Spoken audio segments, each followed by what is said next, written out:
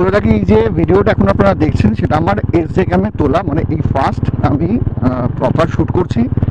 আর যে সাউন্ডটা আপনারা শুনছেন, সেটা হচ্ছে আমার এস জে ক্যামের জন্য। এস জে ক্যামেরই অরিজিনাল ল্যাপেল আমি নিয়েছি, সেটা হেলমেটে মাউন্ট করেছি।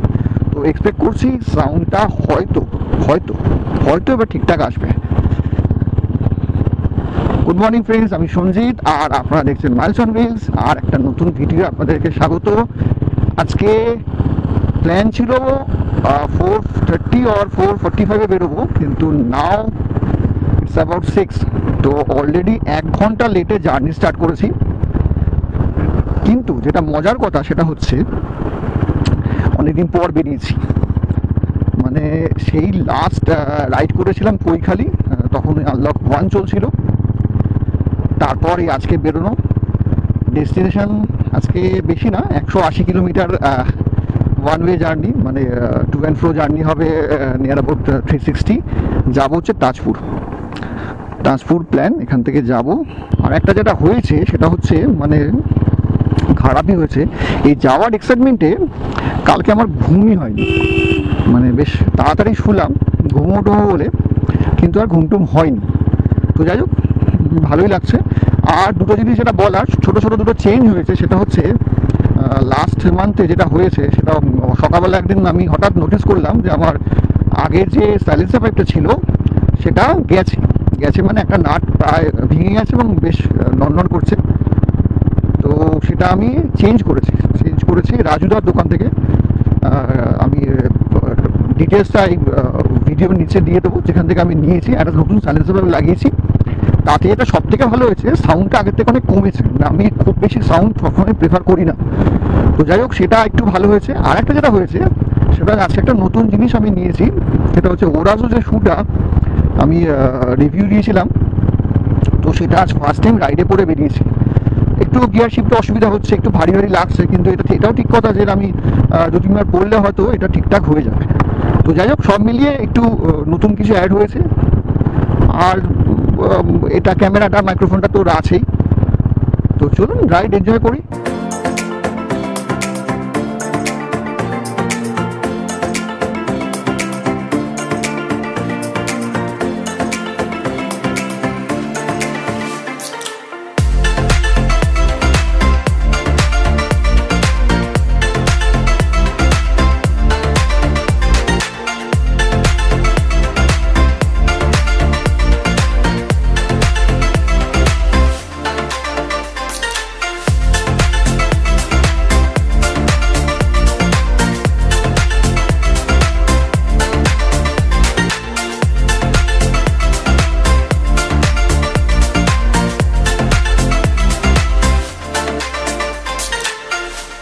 বুঝলাম তাজপুরে গিয়ে টাইম কাটানোর জন্য খুব ভালো একটা জায়গা। তো যদি সেখানে একটু বেশি টাইম না দিতে পারি, নিজেরই খারাপ লাগবে। অ্যাকচুয়ালি থাকলে ভালো হতো, কিন্তু এই মুহূর্তে প্রবলেম যেটা, সেটা হচ্ছে কোথাও গিয়ে স্টে করার মানে এখনও অবধি সেই মনে হচ্ছে যে রিস্ক নেওয়া হয়ে যাবে, তো সেখানে স্টে করতে পারব না। আর একটু অন্যান্য প্রবলেমও আছে, যার ফলে থাকা যাবে না। তো আজকে রাতের মধ্যে ব্যাক করতে হবে। প্ল্যান এই আর কিছু না এখান থেকে তাজপুর গিয়ে একটু খাওয়া দাওয়া করে, একটু টাইম কিছুটা স্পেন্ড করে, আর একটু তাড়াতাড়ি ব্যাক করা। তাজপুরে এই একটা ভালো, যেটা আমি শুনলাম প্লাস দেখলাম কিছু ভিডিওতে যে আমি আমার বাইকটাকে পুরো বিচ অবধি নিয়ে চলে যেতে পারব। মানে পার্কিংটা যে অনেক দূরে রেখে তারপর বিচে যেতে হবে, যেটা দীঘায় করতে হয়, সেরকম নয় আর তো এই একটা ফেসিলিটি আছে।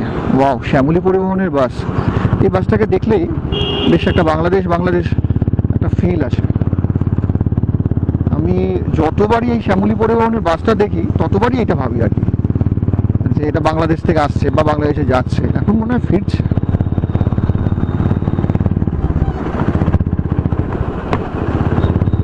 যতই হোক বাংলাদেশ ফরেন কান্ট্রি বলে কথা, তো ভালো লাগে। ব্যাস, সূর্যি মামা এসে গেছেন। সূর্যি মামা সূর্যি মামা, সূর্যি না এই হচ্ছে হাইওয়ে বাসের হর্ন আমরা যখন ফার্স্ট বার যখন আমরা সিকিম গেছিলাম অলমোস্ট এইরকম সময় আমরা বেরিয়েছিলাম। তো সেই ট্রাফিকটা দেখতে পাচ্ছি। আরে, যদি এটাকে ক্রস করে যেতে পারি তো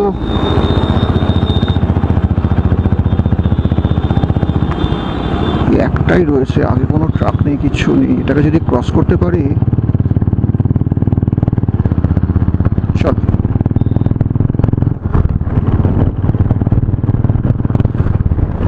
ফার্স্টবার যখন গ্যাংটক গেছিলাম মানে সিকিম আর কি, যে জার্নি করেছিলাম, তখন প্রায় এই সময় গেছিলাম। তো এরকম মনে আছে আমরা শক্তিগড়ে তখন কটা হবে? নটা ফটার সময় পৌঁছেছিলাম।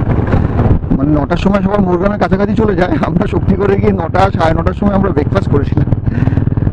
তো ট্রিপটা খুব অ্যামেচার হয়েছিল, কারণ আমাদের কাছে অনেক কিছু ছিল না, কিন্তু তাও ভালো লেগেছিল, অনেক শিক্ষা দিয়েছিল। তারপরে মানে তারপরের ট্রিপগুলো অনেকটা ইজি হয়ে গেছিল বিকজ অফ ওই ট্রিপ না আমাদের কাছে প্রপার গিয়ার ছিল, না জিপিএস ছিল নাথিং নাথিং কিন্তু যেটা ছিল সেটা হচ্ছে স্বপ্ন ছিল। মানে এখনও ভাবি তিনজন মিলে কীরকম বেরিয়ে পড়েছিলাম যে সিকিম যাব। আরে না জিপিএস আছে, না রাইডিং গিয়ার প্রপার ছিল রানিং গিয়ার ছিল। আমি তখন ফার্স্ট টাইম আমি জ্যাকেট কিনেছিলাম। মৃগাঙ্ক অরিজিদার ওদের মানে রাইড করার মতো জ্যাকেট ছিল আমার কাছে ছিল না বলে আমি রাইডিং জ্যাকেটই কিনে নিয়েছিলাম।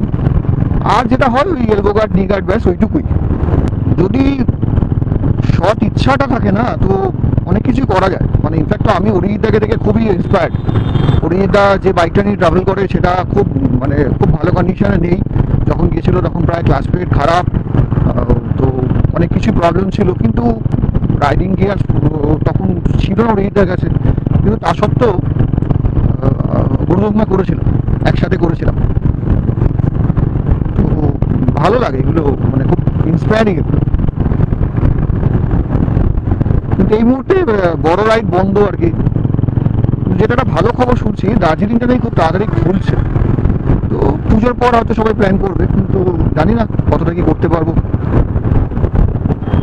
ছোট ছোট রাইড আপাতত করব, বড় রাইড এই ইয়ারে তো পসিবল নয়, এটা কনফার্ম তো নেক্সট ইয়ার দেখতে হবে যদি একটা বড় রাইড কিছু করা যায়।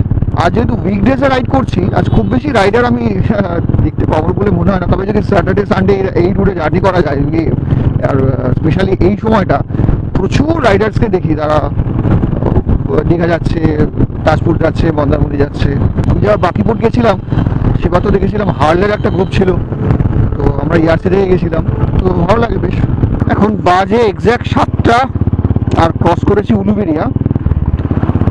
উলুবেরিয়া ক্রস করে কিছুটা চলে এসেছি। তার মানে লাস্ট এক ঘণ্টা আমি ষাট কিলোমিটার জার্নি করেছি। মানে তার মানে ওয়ান থার্ড জার্নি করেছি এক ঘন্টায়। অ্যাকচুয়ালি কি এখানে একটু জার্নিটা একটু তাড়াতাড়ি হবে, কিন্তু নন্দকুমারের পর একটু টাইম লাগবে। যাই হোক ইনিশিয়াল যে দেরিটা হয়েছিল, সেটা কিছুটা হলে হয়তো মেক আপ করতে পেরেছি। মানে আমি টার্গেট করছি উইদিন টেন মানে এখান থেকে তিন ঘণ্টার মধ্যে যদি তাজপুর পৌঁছাতে পারি তাহলে অনেকটা টাইম দেওয়া যাবে।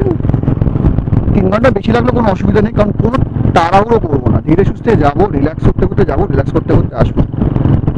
আমি একটা জিনিস দেখছি লাস্ট অনেকটা টাইমই দেখছি, এই রুটে যতগুলো টু হুইলার যাচ্ছে, সে বাইক হোক স্কুটি হোক মানে স্কুটার হোক আর যাই হোক, তার কোনো নাম্বার প্লেট নেই। মানে হতে পারে হয়তো নতুন কিনেছে, কিন্তু সবই দেখছি তাই। মানে খুব আশ্চর্য জিনিস। আর একটা এটা প্রবলেম হয়েছে, আমার প্রিলিয়ানের যে হেলমেটটা নিয়েছি, সেটা হচ্ছে অফ রোডের হেলমেট মানে ভেগার যে অফ রোড হেলমেট থাকে সেটা নিয়েছিলাম। তো তাতে সামনে একটা মানে উপরে একটা সানগার্ড মতো রয়েছে, সেটা বেশ কিছুটা বেরিয়ে আছে, যার ফলে যেটা হচ্ছে, সেটা হচ্ছে ওই পোর্শনটা আমার হেলমেটে এসে প্রায়শই ধাক্কা দিচ্ছে। আইদার হেলমেটটা চেঞ্জ করতে হবে, অথবা ওই উপরে যে পোর্শনটা আছে, যেটাতে সানগার্ড সানগার্ডের জন্য দেওয়া মোস্ট প্রবলি আমার দেখে যেটা মনে হয়েছে ওই পোর্শনটা খুলে ফেলতে হবে।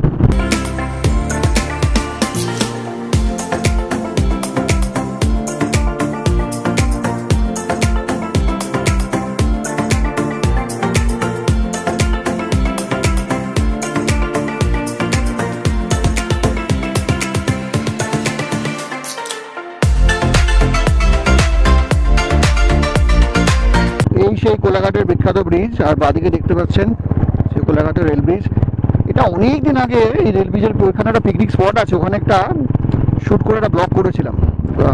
প্লে লিস্টে আছে, যদি মনে হয় দেখতে পারেন। আর যেটা আমার আমার কাছে ভালো লেগেছিল এই কারণে, কারণ আমি আমার এই এনফিল্ডটা নিয়ে থান্ডারবার্ডটা নিয়ে ফার্স্ট ওই জার্নিটা করি, যেটা কোলাঘাটে এসেছিলাম। তো তারপর থেকে তো জার্নি চলছেই।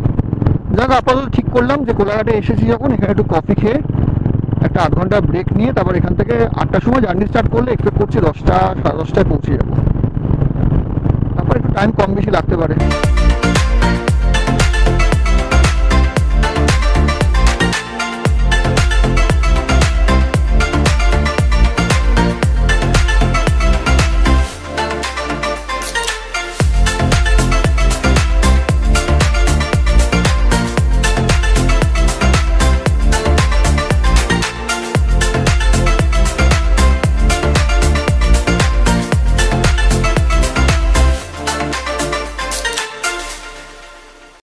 কফি ব্রেক ডান। কোলঘাট থেকে বেরোচ্ছি, এখান থেকে মনে হয় একশো কিলোমিটারের জার্নি।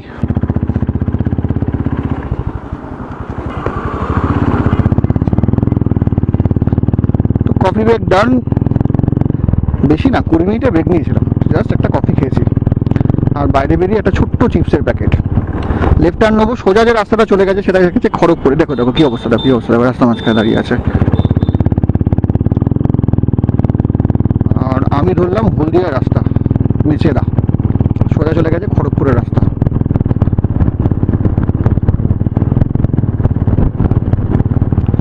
এই রাস্তা আমি থার্ড টাইম একবার দীঘা, একবার বাকিপুর, আর এই থার্ড টাইম থার্ড টাইম এই রাস্তায় আমি বাইক চালাচ্ছি। দিয়ে এসে সোজা গেছি। যেবার আমরা খিরাই গেছিলাম। খিরাই একটা ভালো ভিডিও আছে, যদি চান তো প্লে থেকে একটু সার্চ করে দেখতে পারেন। যাই হোক, এবার যেটা প্রবলেম হবে, এতক্ষণ যে স্মুথলি গাড়িটা চালিয়ে এসেছি, এবার আর ততটা স্মুথলি হবে না রাস্তা এবার অনেকটা ন্যারো আর ট্রাফিক প্রচুর, আর প্রচুর স্টেট বাসগুলো রয়েছে, তো একটু দেখে চালাতে হবে। এখন অব্দি ওয়েদার কিন্তু দারুণ স্বাদ দিয়েছে। বৃষ্টি নেই, গরম হালকা, সেরম গরম নেই বললেই চলে। সব বাসগুলো চেপে দিচ্ছে, আমরা যাব কোথা দিয়ে?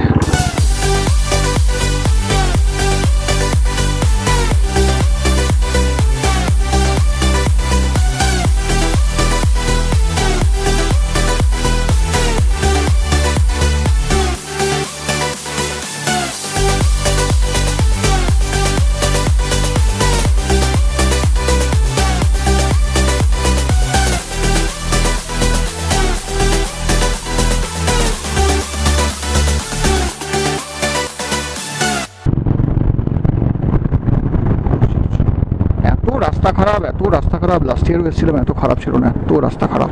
মানে এটা কিছুই না, তখন আমি ক্যামেরাটা অন করতে পারিনি। তো ক্যামেরাটা অন করতে পারলে দেখাতাম যে রাস্তা কত খারাপ। খুব খারাপ খুব খারাপ।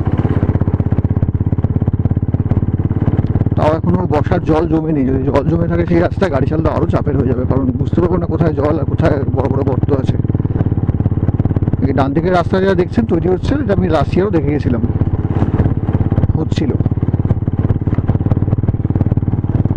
এনিওয়ে জার্নি আমার বেশ ভালো লেগেছে, এখন অব্দি অসাধারণ জার্নি করেছে, কারণ ওয়েদার সাথ দিয়েছে।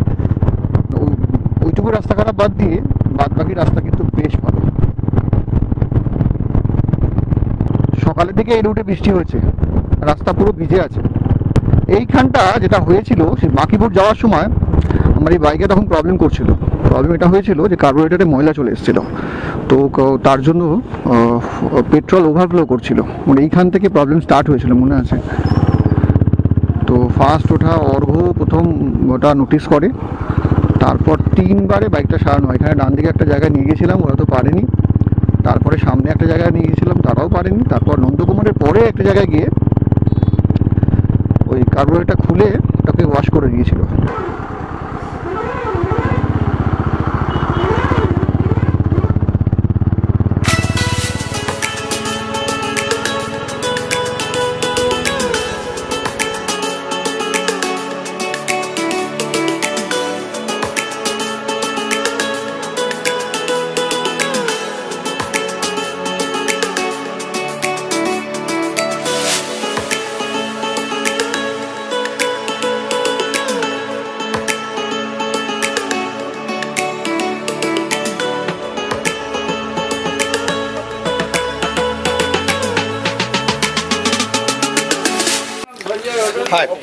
এই মুহূর্তের আপডেট তাজপুর এসে পৌঁছেছি।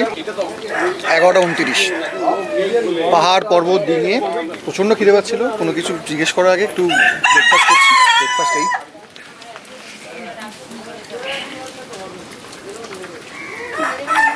তোমাকে ছাড়িয়ে দিয়েছি। ছাড়িয়ে না তুই বেছে বেছে ডিমগুলো খেয়ে নিয়েছো? না হুম। তুলে নিয়েছি।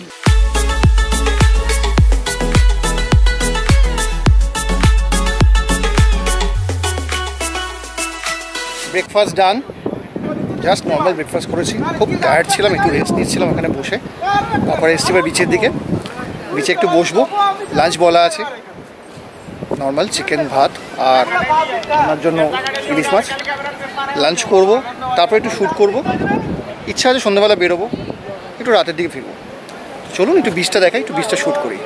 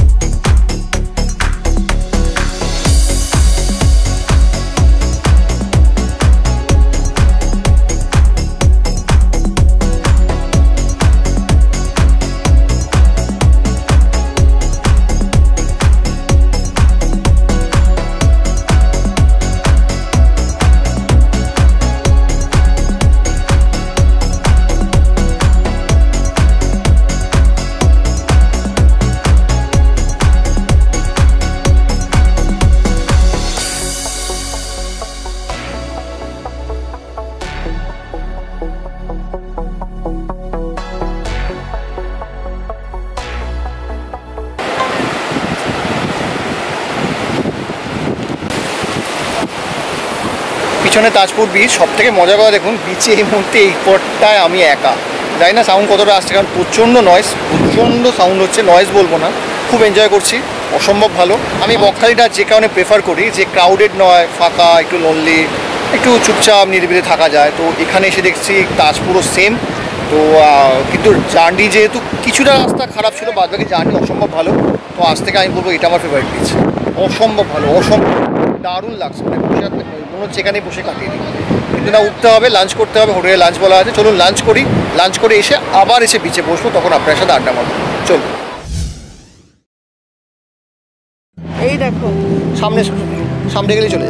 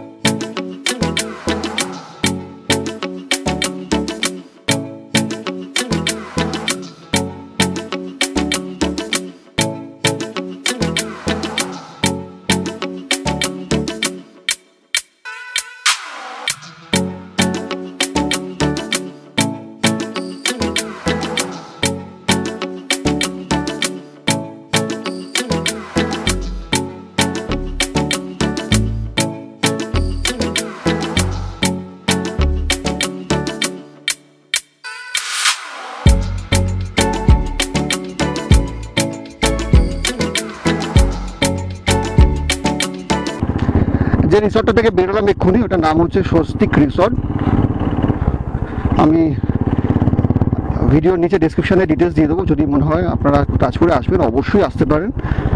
মানে এই রিসর্টে থাকতে পারেন, খুব ভালো খুব ভালো ওনার বিহেভিয়ার যিনি ম্যানেজার ছিলেন সুজয়বাবু। তো যতক্ষণ আমরা ছিলাম, যা যা আবদার করেছি, উনি সবকটা মিটিয়েছেন, কিছু অন্যায় আবদারও ছিল। তো যাই হোক, তাজপুর রাইড এই অবধি, আশা করি আপনাদের ভালো লেগেছে। আরও কিছু শট নেওয়ার ইচ্ছা ছিল, কিন্তু বৃষ্টির জন্য অনেক অনেক স্যাক্রিফাইসই করতে হয়েছে মানে অন্তত ফটোগ্রাফির জন্য। আর যেটা আরেকটা লেগেছে, যে তাজপুর বিচে যেটা প্রবলেম সেটা হচ্ছে এই মুহূর্তে জলটা অনেক কম আছে মানে জলটা আপনারা নিজেরাও দেখছেন। যে যেখান থেকে বীজ স্টার্ট হয়েছে, সেটা অনেকটা ডিস্টেন্স তো হেঁটে যেতে হয়। আর একটা যেটা আমার প্রবলেম লেগেছে এখানে, যে খাওয়া দাওয়া একটু কস্টলি একটু না অনেকটাই কস্টলি না, আমরা যখন ইলিশ মাছ জিজ্ঞেস করছি, তো ওরা ওরা বলছেন সাড়ে সাতশো টাকা দিয়ে ইলিশ মাছ, আপনাকে গোটা কিনতে হবে না মানে হাফ বা পিস রান্না করা যাবে না। চিকেন খেতে হলে পাঁচশো টাকা দিয়ে গোটা কিনতে হবে। যদি গ্রুপে আসা যায়, তো সেক্ষেত্রে ওই বিচের পাশে যে ছোটো ছোটো হোটেলগুলো রয়েছে, যে ছবিটা আপনারা এখন দেখছেন, তো সেখানে আপনারা খাওয়া দাওয়া করতে পারেন। এছাড়া যে কোনো রিসর্টে খাওয়ার ব্যবস্থা আছে এবং দাম যথেষ্ট রিজনেবল মানে আমরা যেখানে খেলাম তো বেশ খাওয়া দাওয়ার কোয়ালিটি খুব ভালো ছিল এবং দামটাও বেশ রিজনেবল তো যাই হোক, সব মিলিয়ে মিশিয়ে টক, ঝাল, মিষ্টি সব মিলিয়ে তাজপুর রাইস বেশ এনজয় করেছি আমি। আপনারাও আশা করি ভিডিও থেকে এনজয় করছেন। রাইডের ভিডিও এখানেই শেষ করব। তার আগে সেই একই রিকোয়েস্ট যদি ভালো লাগে অবশ্যই লাইক করুন শেয়ার করুন সাবস্ক্রাইব করুন কমেন্টস করুন, ভালো না লাগলেও কমেন্টস করুন। আর যে কোনো ডিটেলস যদি আপনাদের চাই যদি দরকার হয় এই তাজপুরের ব্যাপারে, তো সেটাও আপনারা কমেন্ট সেকশানে লিখতে পারেন। আমি অবশ্যই আমার সাধ্য মতো তার রিপ্লাই দেবো। আপাতত তাজপুর রাইড এই অবধি। যাওয়ার সময় কোথাও একটু একটু খাওয়া দাওয়া করার ইচ্ছা আছে, খিদে খিদে পাচ্ছে আবার। আর ধীরে ধীরে বাড়ি ফিরি, তাড়াহুড়ো কিছু নেই। তো ভালো থাকবেন রাইড করুন এবং রাইড সেফলি রাইড করুন। এবং আমার চ্যানেলে ভিডিওগুলো দেখতে থাকুন।